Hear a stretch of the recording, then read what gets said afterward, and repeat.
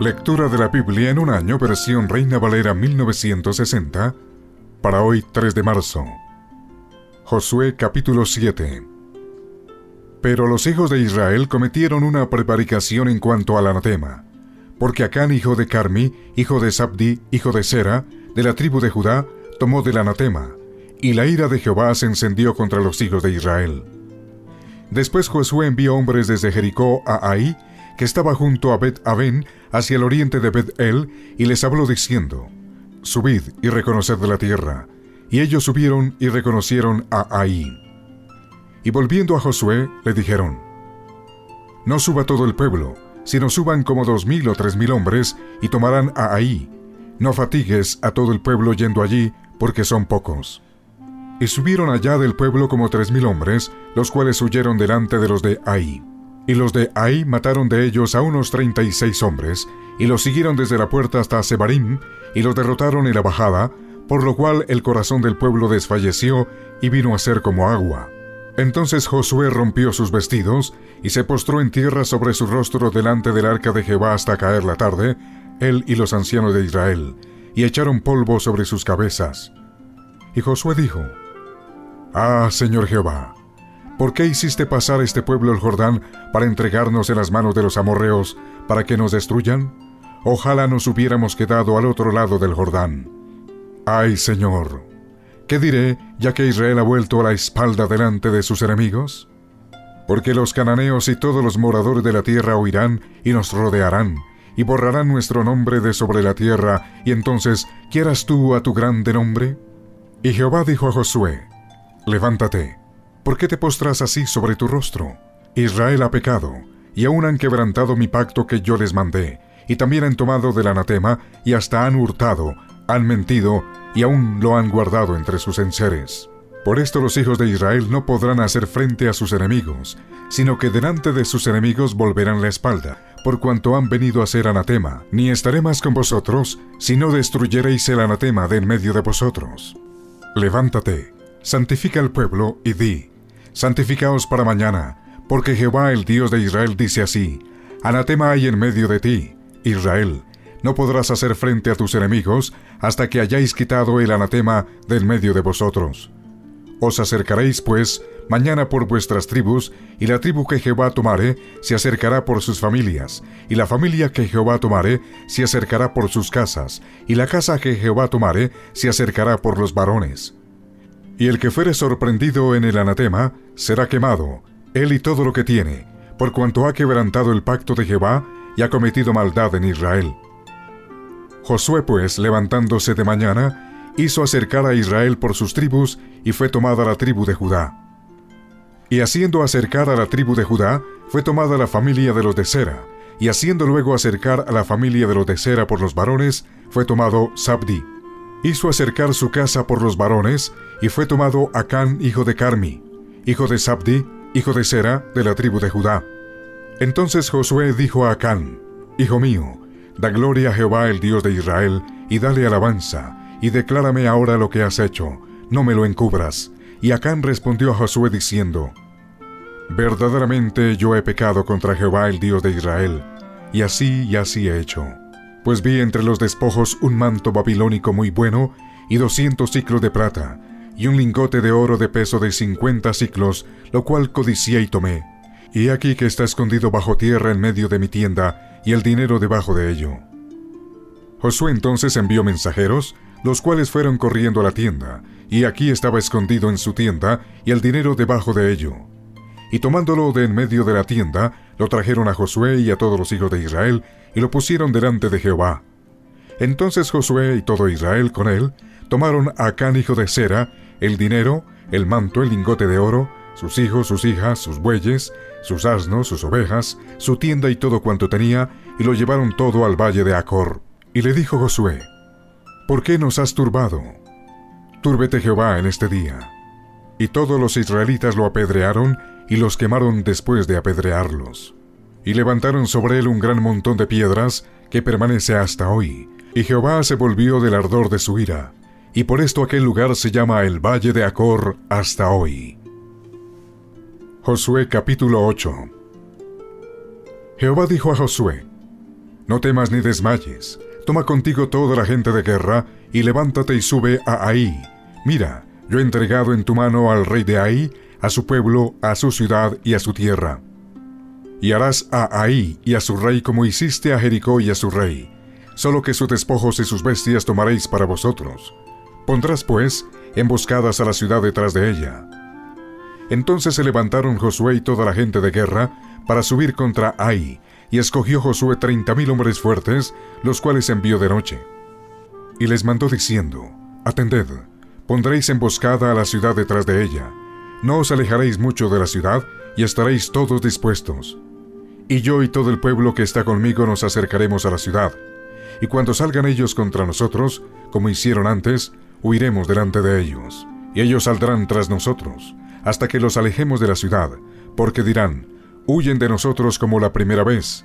Huiremos pues delante de ellos. Entonces vosotros os levantaréis de la emboscada y tomaréis la ciudad, pues Jehová vuestro Dios la entregará en vuestras manos. Y cuando la hayáis tomado, le prenderéis fuego.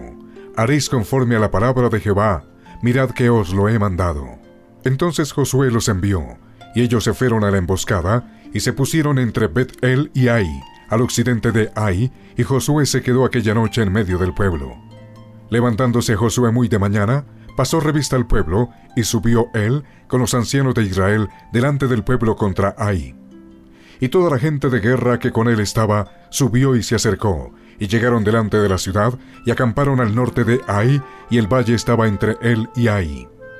Y tomó como cinco mil hombres, y los puso en emboscada entre Bet-El y Ai, al occidente de la ciudad. Así dispusieron al pueblo, todo el campamento al norte de la ciudad, y su emboscada al occidente de la ciudad, y Josué avanzó aquella noche hasta la mitad del valle. Y aconteció que viéndolo el rey de Ai, él y su pueblo se apresuraron y madrugaron.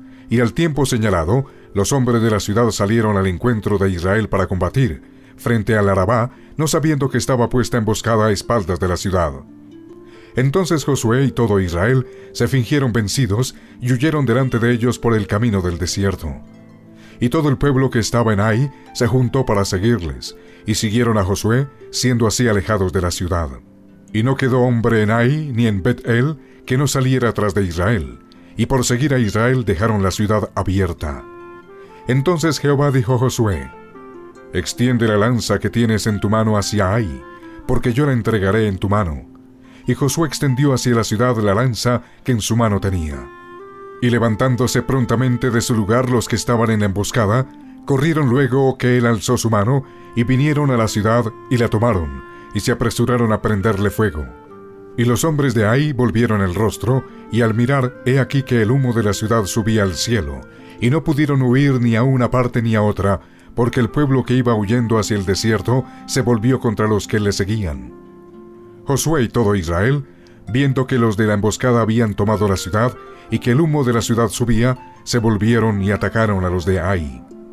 Y los otros salieron de la ciudad a su encuentro, y así fueron encerrados en medio de Israel, los unos por un lado y los otros por el otro, y los hirieron hasta que no quedó ninguno de ellos que escapase. Pero tomaron vivo al rey de Ai y lo trajeron a Josué. Y cuando los israelitas acabaron de matar a todos los moradores de Ai en el campo y en el desierto, a donde los habían perseguido, y todos habían caído a filo de espada hasta ser consumidos, todos los israelitas volvieron a Ai, y también la hirieron a filo de espada. Y el número de los que cayeron aquel día, hombres y mujeres, fue de doce mil, todos los de Ai. Porque Josué no retiró su mano que había extendido con la lanza, hasta que hubo destruido por completo a todos los moradores de Ai. Pero los israelitas tomaron para sí las bestias y los despojó de la ciudad, conforme a la palabra de Jehová que le había mandado a Josué. Y Josué quemó a Ai y la redujo a un montón de escombros, asolada para siempre hasta hoy. Y al rey de Ai lo colgó de un madero hasta caer la noche. Y cuando el sol se puso, mandó Josué que quitasen del madero su cuerpo y lo echasen a la puerta de la ciudad, y levantaron sobre él un gran montón de piedras que permanece hasta hoy. Entonces Josué edificó un altar a Jehová Dios de Israel en el monte Ebal, como Moisés siervo de Jehová lo había mandado a los hijos de Israel, como está escrito en el libro de la ley de Moisés, un altar de piedras enteras sobre las cuales nadie alzó hierro, y ofrecieron sobre él holocaustos a Jehová y sacrificaron ofrendas de paz. También escribió allí sobre las piedras una copia de la ley de Moisés, la cual escribió delante de los hijos de Israel. Y todo Israel, con sus ancianos, oficiales y jueces, estaba de pie a uno y a otro lado del arca, en presencia de los sacerdotes levitas, que llevaban el arca del pacto de Jehová, así los extranjeros como los naturales. La mitad de ellos estaba hacia el monte Gerizim, y la otra mitad hacia el monte Ebal, de la manera que Moisés, siervo de Jehová, lo había mandado antes para que bendijesen primeramente al pueblo de Israel. Después de esto, leyó todas las palabras de la ley, las bendiciones y las maldiciones, conforme a todo lo que está escrito en el libro de la ley. No hubo palabra alguna de todo cuanto mandó Moisés que Josué no hiciese leer delante de toda la congregación de Israel y de las mujeres, de los niños y de los extranjeros que moraban entre ellos. Josué capítulo 9 Cuando oyeron estas cosas todos los reyes que estaban a este lado del Jordán, así en las montañas como en los llanos, y en toda la costa del mar grande delante del Líbano, los Eteos, Amorreos, Cananeos, Fereceos, Heveos y Jebuseos, se concertaron para pelear contra Josué e Israel. Mas los moradores de Gabaón, cuando oyeron lo que Josué había hecho a Jericó y Ahí, usaron de astucia, pues fueron y se fingieron embajadores, y tomaron sacos viejos sobre sus asnos, y cueros viejos de vino, rotos y remendados, y zapatos viejos y recocidos en sus pies, con vestidos viejos sobre sí, y todo el pan que traían para el camino era seco y mohoso. Y vinieron a Josué al campamento en Gilgal, y le dijeron a él y a los de Israel, Nosotros venimos de tierra muy lejana, Haced pues ahora alianza con nosotros. Y los de Israel respondieron a los hebeos, Quizás habitáis en medio de nosotros. ¿Cómo pues podremos hacer alianza con vosotros? Ellos respondieron a Josué, Nosotros somos tus siervos. Y Josué les dijo, ¿Quiénes sois vosotros? ¿Y de dónde venís? Y ellos respondieron, Tus siervos han venido de tierra muy lejana, por causa del nombre de Jehová tu Dios, porque hemos oído su fama y todo lo que hizo en Egipto, y todo lo que hizo a los dos reyes de los amorreos que estaban al otro lado del Jordán, a Seón, rey de Esbón, y a Oc, rey de Basán, que estaba en Astarot. Por lo cual nuestros ancianos y todos los moradores de nuestra tierra nos dijeron, Tomad en vuestras manos provisión para el camino, e id al encuentro de ellos, y decidles, Nosotros somos vuestros siervos, haced ahora alianza con nosotros.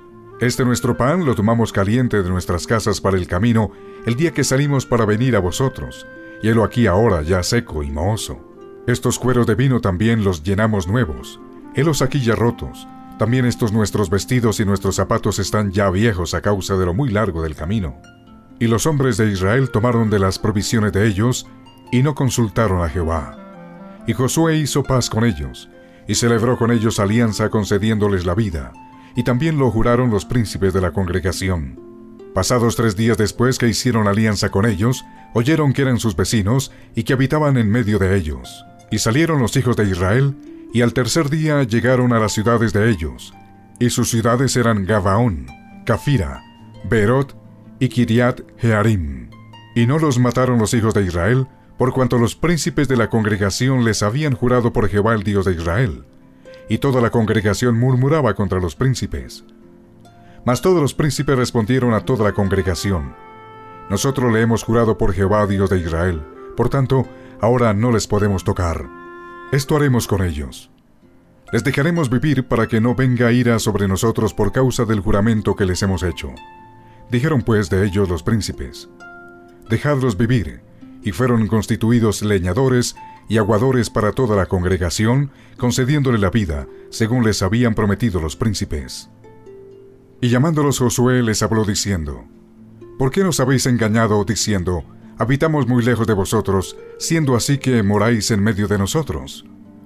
Ahora pues, malditos sois, y no dejará de haber de entre vosotros siervos, y quien corte la leña y saque el agua para la casa de mi Dios.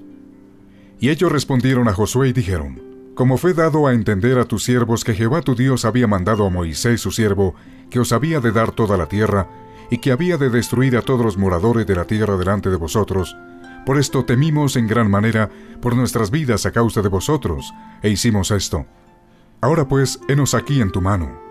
Lo que te pareciere bueno y recto hacer de nosotros, hazlo. Y él lo hizo así con ellos, pues los libró de la mano de los hijos de Israel, y no los mataron. Y Josué los destinó aquel día a ser leñadores y aguadores para la congregación y para el altar de Jehová en el lugar que Jehová eligiese, lo que son hasta hoy.